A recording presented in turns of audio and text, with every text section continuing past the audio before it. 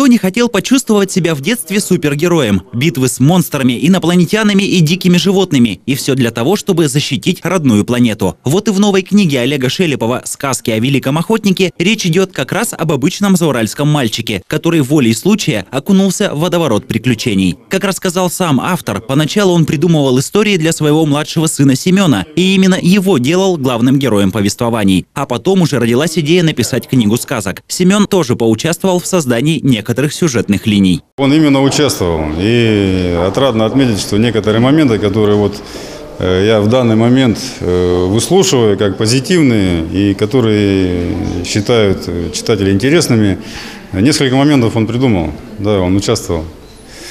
В частности, он э, придумал момент, когда в Африке кот с криком «возьму я этого коротенького» бросается на жирафа. Зауральский автор издал книгу в курганской типографии и привлек к созданию иллюстраций начинающую художницу из областного центра. Рисовать картинки к детской сказке для Людмилы Гасановой еще ни разу не приходилось, но за работу взялась с удовольствием.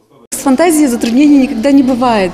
Просто наоборот, здесь Олег Геннадьевич он очень жестко диктовал, потому что ну, эта же иллюстрация должна соответствовать тексту.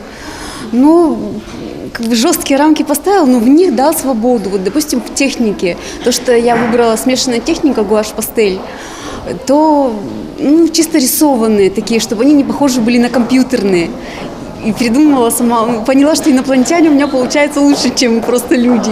Высокое качество полиграфии, яркие иллюстрации и сами сказки должны завлечь и маленьких, и взрослых читателей, уверен автор. Кроме того, он предлагает родителям читать книгу своим сыновьям и изменять имя главного героя на имя собственного ребенка. Тогда дети почувствуют себя реальными героями и окунутся в сказочный мир приключений.